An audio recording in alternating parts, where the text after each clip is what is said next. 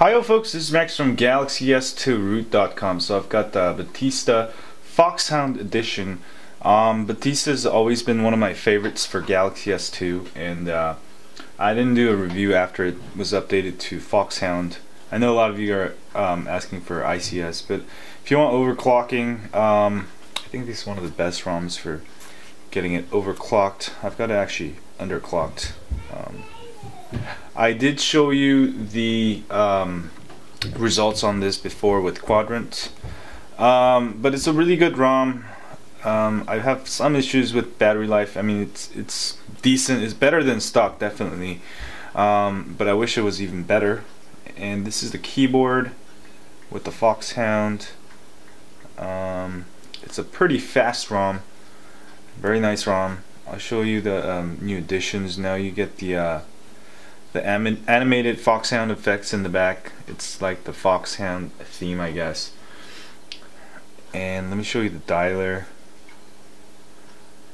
Um, so there's the dialer keypad, contacts. There's even groups. Kind of cool. Um, what else can I show you here? Let me see here.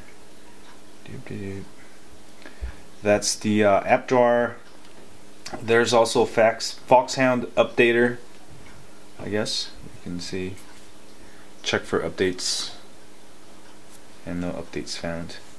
Um, change. It has BLN control, I think.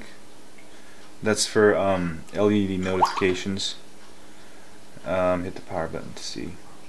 See, when you have notifications, you'll get the buttons. Um, when you get emails and stuff like that. That's kind of cool. Chainfire 3D um, what is this? Two, two, two. Not sure what that is.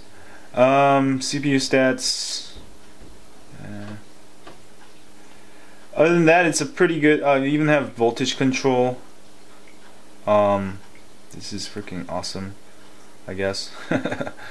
um, this is another way of controlling your uh, voltage like set CPU so you don't need set CPU you can use that. And it also comes with a, a, YouTube app that plays like I can be I'll show you that. This is my well this is kind of small thing but some of you might like it. Because I watch a lot of YouTube videos because I'm a YouTube like addict. As you know I make YouTube videos. That doesn't mean I don't watch YouTube videos. I actually watch probably so I'm playing my dubstep. And then um, if you use a regular YouTube and uh, let's go to my channel. If you try to play wave sounds it's going to turn off my my other Pandora. Now if you use the other YouTube app that comes with this ROM it allows you to um, play play while the other app's going which is cool. Sometimes I like to listen to um, Pandora and you know watch my own videos or whatever so that's the one thing that's kind of cool. Um, and also this YouTube app even if you turn it off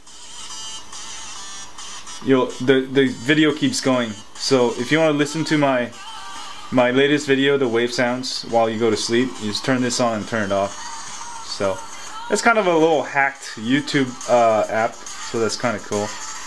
And oh that's kind of good music Anyway, that was um, that was really cool.